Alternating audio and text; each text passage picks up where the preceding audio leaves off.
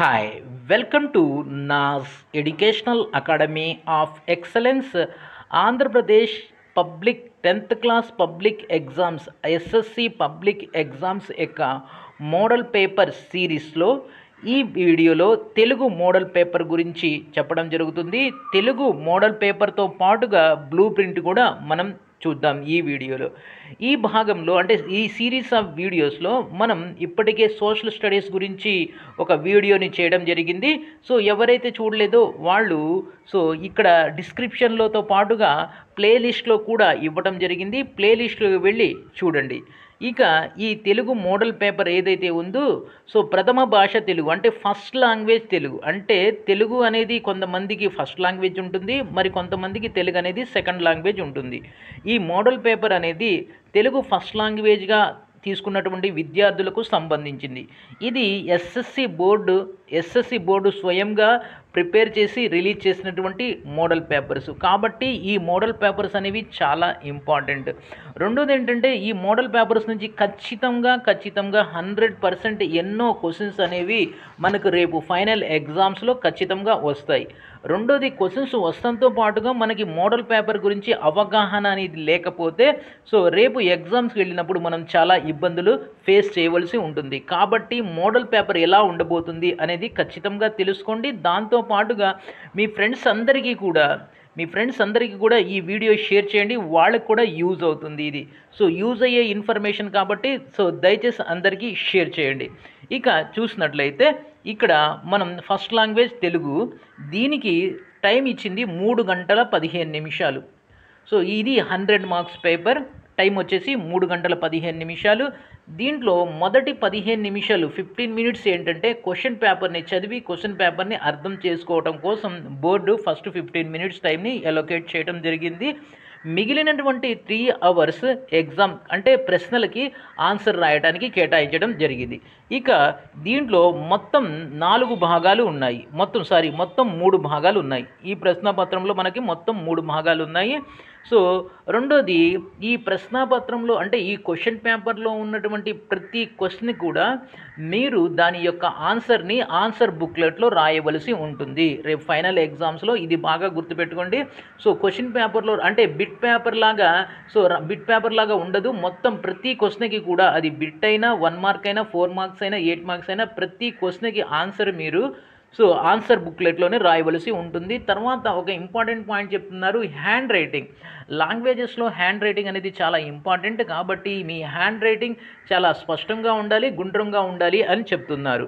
So right ఈ మూడు విభాగాల నుంచి ఫస్ట్ విభాగం కనుక మనం చూసినట్లయితే ఈ ఫస్ట్ విభాగానికి అవగాహన ప్రతిస్పందన దీని ఈ ఫస్ట్ విభాగమైనటువంటి అవగాహన ప్రతిస్పందనకి ముప్పై రెండు మార్క్స్ థర్టీ టూ మార్క్స్ అనేవి కేటాయించడం జరిగింది.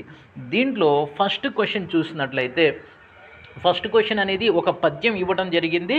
సో ఈ పద్యానికి ప్రతి పదార్థం అనేది రాయవలసి ఉంటుంది. ఈ ఇక్కడ ఏం చేశారు? ఇంటర్నల్ చాయిస్ అనేది ఇచ్చారు. ఫస్ట్ ఒక క్వశ్చన్ ఒక పద్యం ఇచ్చారు.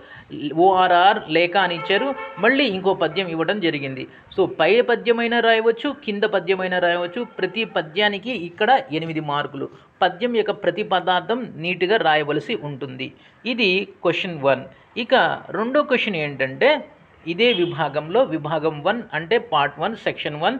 దీంట్లో క్రింద పద్యంలో ఒక దానిని పాదభంగం లేకుండా పూరించి భావం రాయండి అంటున్నారు. ఇది కూడా పోయట్రీ. ఫస్ట్ పోయం అనేది పోయట్రీ కాబట్టి పద్య భాగము ఇది కూడా పద్య భాగం నుంచి ఇవ్వడం జరిగింది. దీనికి ఏమంటున్నారంటే ఇక్కడ కూడా రెండు పద్యాలు ఇవ్వడం జరిగింది. సో ఇంటర్నల్ చాయిస్ అనేది ఉంది. సో ఇక్కడ మీరేం చేయాలి అంటే ఈ ఈ రెండిట్లో ఒక పద్యాన్ని సెలెక్ట్ చేసుకొని సో దాన్ని పూరించాలి. ఫస్ట్ పూరించాలి. పూరించడం అంటే ఏంటంటే సో ఇక్కడ మీకు స్క్రీన్ మీద కనపడుతున్న పద్యం చూడండి. సో రెండు వర్డ్స్ ఇచ్చారు. చివరిన ఒక వర్డ్ ఇచ్చారు. ఆ మధ్యలో మొత్తం కూడా మనం ఆన్సర్ స్క్రిప్ట్ మీద సో పద్యాన్ని మొదలుపెట్టి సో ఎలాగైతే టెక్స్ట్ బుక్లో పద్యం ఉంటుందో ఎగ్జాక్ట్లీ అలాగే పద్యం రాయవలసి ఉంటుంది. దీంతో పాటుగా కేవలం పద్యం ఒకటి రాస్తే సరిపోతుంది. పాదభంగం లేకుండా రాయాలి అంటున్నారు. అంటే ఎలాంటి మిస్టేక్స్ లేకుండా ఏ లైన్లో ఎంతవరకు ఉంటుందో అంతవరకు రాయాలి. పాదభంగం అంటే అది. పాదభంగం లేకుండా రాయాలి.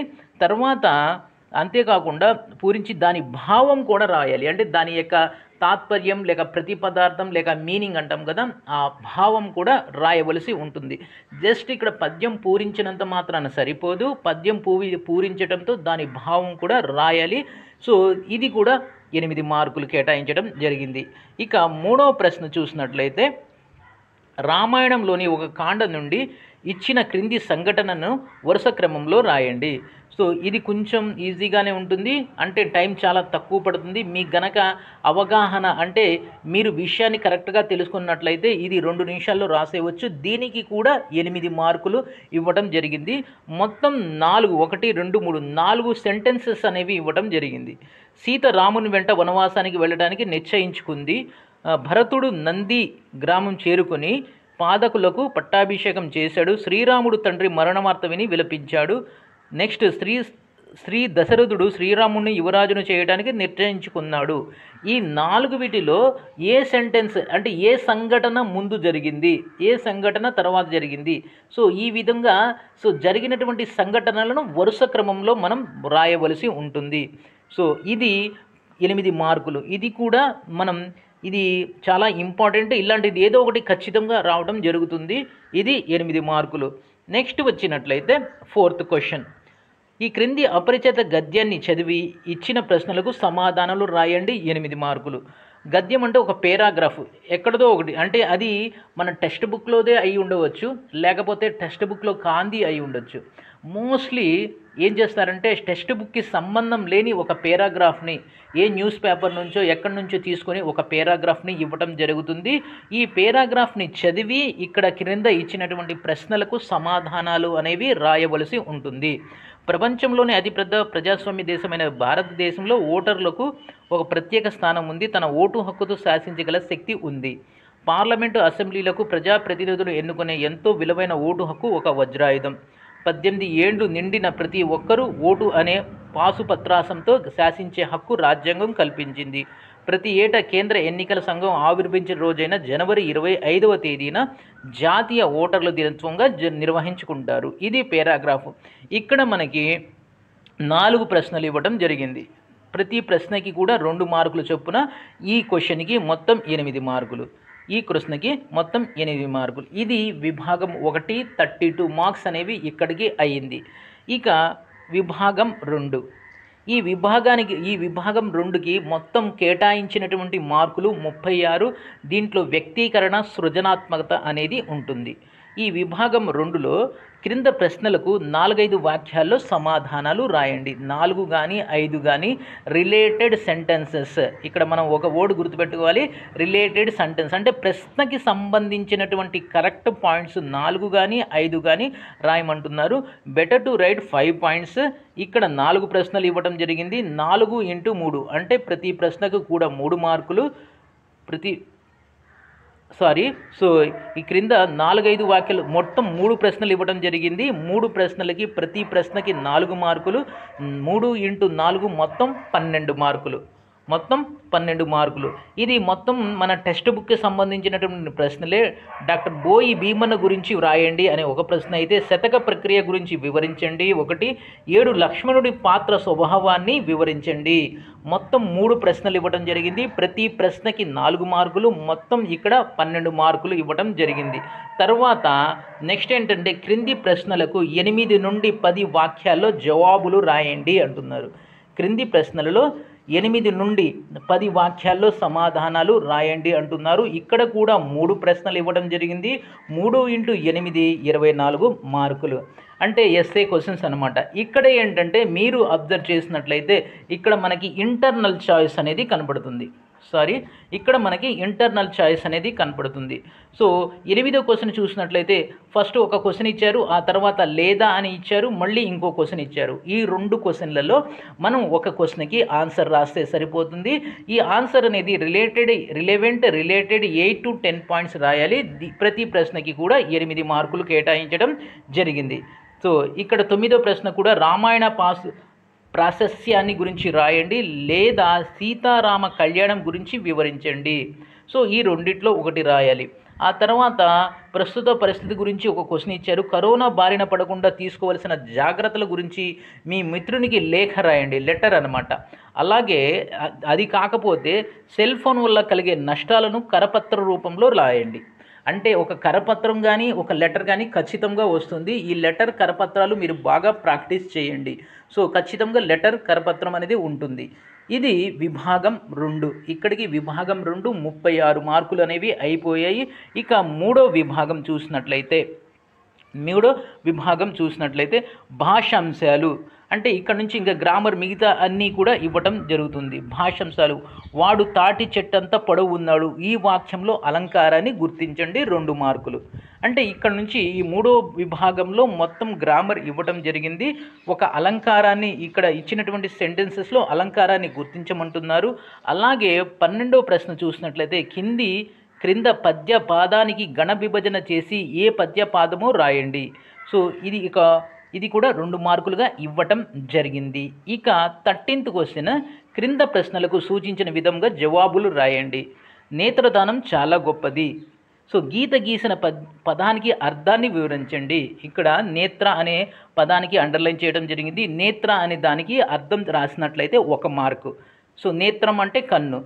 సో అక్కడ మీరు నేత్రం అనే పదానికి అండర్లైన్ చేశారు కాబట్టి దానికి కన్ను అనేది ఆన్సర్ రాసినట్లయితే ఒక మార్కు కేటాయించడం జరిగింది.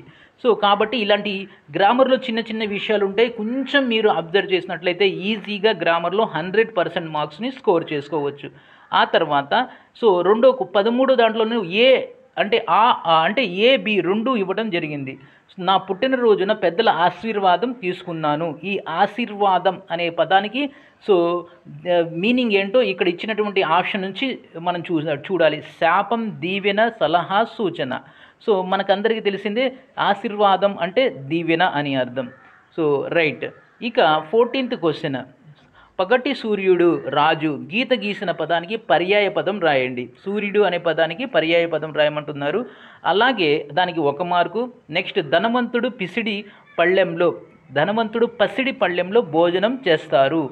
పసిడి అనే పదానికి గుర్తించి విడిగా రాయండి. ఈ గీత గీసిన పద పదానికి పర్యాయ పదాన్ని రాయాలి. ఈ రెండు అంటే రెండు మార్కులు పర్యాయ పదాలకి ఇవ్వటం జరిగింది. రెండు మార్కులు పర్యాయ పదాలకు ఇవ్వడం జరిగింది రెండు మార్కులు మీనింగ్స్ ఇవ్వటం జరిగింది. సో రెండు మార్కులు అలంకారాలకి ఇవ్వటం జరిగింది రెండు మార్కులు గణ విభజనకి ఇవ్వటం జరిగింది. ఫిఫ్టీన్త్ క్వశ్చన్ నాయముగా బతకాలి. నాయముగా బతకాలి. వన్ మార్క్ గీత గీసిన పదానికి ప్రకృతి పదం రాయండి. అలాగే అగ్గిలో చెయ్యి పెడితే కాలుతుంది. గీత గీసిన పదానికి ప్రకృతి పదంగా రాయండి. అంటే ప్రకృతి వికృతులకు కూడా రెండు మార్కులు ఇవ్వటం జరిగింది. ఇక నెక్స్ట్ చూసినట్లయితే సిక్స్టీన్త్ క్వశ్చన్. పెద్దల పట్ల గౌరవంగా మెలగాలి. గీత గీసిన పదానికి వికృతి రాయండి. అంటే ప్రకృతులకి రెండు రెండు మార్కులు ఇవ్వటం అంటే రెండు ఇచ్చారు ఒక్కో దానికి ఒక మార్కు. అలాగే వికృతులు కూడా రెండు మార్కులు ఇవ్వటం జరిగింది. అంటే రెండు ఇవ్వటం జరిగింది ఒక్కో దానికి ఒక మార్కు. ఇక సెవెంటీన్త్ క్వశ్చన్. శ్రీకృష్ణుడు స్నిగ్ధాంబుద ఛాయలో వెలుగుతున్నాడు. గీత గీసిన పదాన్ని విడదీయండి. అంటే జస్ట్ సంధిగా విడదీయాలి అని అంటున్నారు. ఒక మార్కు. పద్దెనిమిది చూడండి. ఇది కూడా సంధికి సంబంధించింది. అక్కడ ప్లస్ అక్కడ సంధి పదాలను కలిపి రాయండి. అక్కడ ప్లస్ అక్కడ. వాళ్ళే విడగొట్టించారు. దానికి సంధి పదం రాయమంటున్నారు. అంటే సంధులకు సంబంధించి మనకి మొత్తం రెండు మార్కులు వస్తున్నాయి. ఇక పంతొమ్మిది క్వశ్చన్ చూసినట్లే పుస్తకాలు అనే పదానికి అండర్లైన్ చేశారు. విద్యార్థులకు మంచి మిత్రుడు గీత గీసిన పదంలో సంధిని గుర్తించండి. సో మనం ఇక్కడ విడదీయక్కర్లా జస్ట్ సంధిని గుర్తించి ఇక్కడ నాలుగు ఇచ్చారు సౌరదీర్ఘ సంధి గుణసంధి ఉత్వ సంధి లులానల్ల సంధి. ఈ నాలుగిట్లో ఏ సంధి పుస్తకాలు అనేది గుర్తించడం సరిపోతుంది. అంటే ఇక్కడ సంధుల గురించి మొత్తం కూడా మూడు మార్కులు ఇవ్వడం జరిగింది. పదిహేడు పద్దెనిమిది పంతొమ్మిది సందులకు సంబంధించి. ఇక ఇరవయో క్వశ్చన్ చూసినట్లయితే భారతీయులందరూ అన్నదమ్ముల వలె కలిసిమెలిసి ఉండాలి. గీత గీసిన పదానికి విగ్రహ వాక్యాన్ని రాయండి. సో ఇది కూడా సందులకు సంబంధించింది. విగ్రహ వాక్యం అనేది రాయాలి. ఇరవై ఒకటి ఈరోజు పోటీలో నేను గెలిచిన నగదు నాలుగు వందలు. ఈ నాలుగు వందలు అనే పదానికి అండర్లైన్ చేశారు. ఇది ఏ సమాసమో రాయాలి. ఇది సమాసానికి సంబంధించింది. తర్వాత ఇరవై రెండు ప్రశ్న కూడా సమాసానికి సంబంధించిందే. క్రింది పదంలో నజతత్పురుష సమాస పదాన్ని గురించి వివర విడిగా రాయండి. నెక్స్ట్ ఇరవై మూడో క్వశ్చన్ మా ఉపాధ్యాయుడి ఉపదేశం కనువిప్పు కలిగించింది. ఈ వాక్యంలో జాతీయాన్ని గురించి రాయండి గుర్తించండి. జాతీయం గుర్తించి దాన్ని రాయండి. మా ఉపాధ్యాయుడు ఉపదేశం కనువిప్పు కలిగించింది. ఈ వాక్యంలో జాతీయాన్ని గుర్తించి రాయండి అని అడు అంటున్నారు. తర్వాత ఇరవై నాలుగో క్వశ్చన్. శ్రీరామ రక్ష ఈ జాతీయాన్ని ఉపయోగించి సొంత వాక్యాన్ని రాయండి. ఈ శ్రీరామ రక్ష అనే పదాన్ని ఉపయోగించి మనం ఒక సొంత వాక్యం రాయవలసి ఉంటుంది. దానికి కూడా రెండు మార్కులు. తర్వాత ఇరవై ఆరో క్వశ్చన్.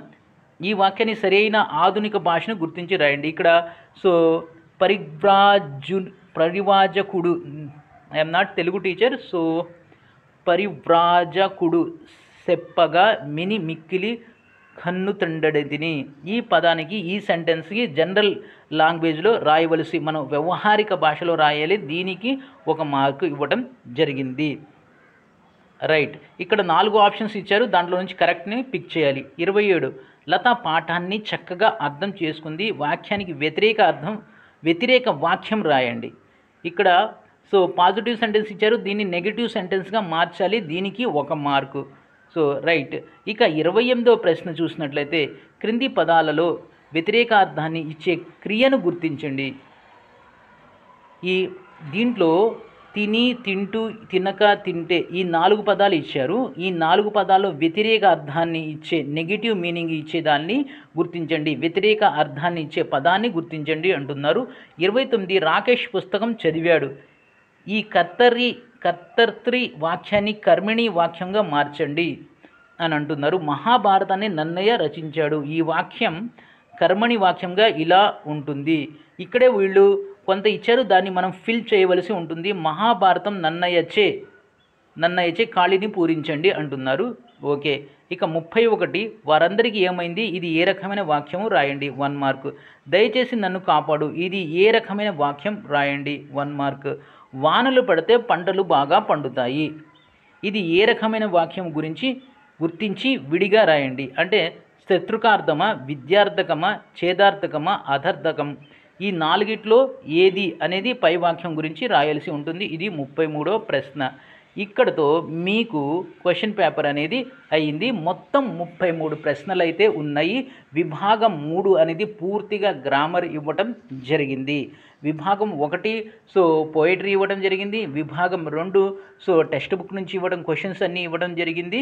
విభాగంలో మూడులో గ్రామర్ అనేది ఇవ్వడం జరిగింది. ఫస్ట్ విభాగంలో ముప్పై రెండు మార్కులు సెకండ్ విభాగంలో ముప్పై ఆరు మార్కులు. మిగిలినటువంటి ఇరవై రెండు మార్కులు వచ్చేసి మీకు విభాగం మూడులో ఉన్నాయి. ఇవి జనరల్ తెలుగు. ఎవరైతే తెలుగు ఫస్ట్ లాంగ్వేజ్ ఉంటుందో కదా సో వాళ్ళకి ఇది కాంపోజిట్ తెలుగు అయితే కాదు ఇది జనరల్ తెలుగు. సో ఈ ఈ తెలుగు. సో ఈ వీడియో కనుక మీకు నచ్చినట్లయితే లైక్ చేయండి షేర్ చేయండి కామెంట్ చేయండి సబ్స్క్రైబ్ చేసుకుని ప్రక్కనే ఉన్న బెల్ ఐకాన్ని ప్రెస్ చేస్తే మర్చిపోవద్దు. Thank you. Have a great day and great future head of you.